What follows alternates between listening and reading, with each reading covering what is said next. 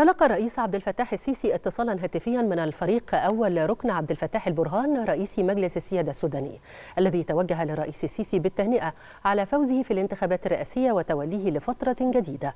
وخلال الاتصال شدد البرهان على حرص السودان على استمرار النهج المثمر للعلاقات الأخوية بين البلدين. من جانبه سمن الرئيس السيسي اللفتة الكريمة من رئيس مجلس السيادة السوداني مؤكدا حرص مصر على العلاقات شديدة الخصوصية بين البلدين والحرص البالغ على أمن واستقرار السودان الشقيق.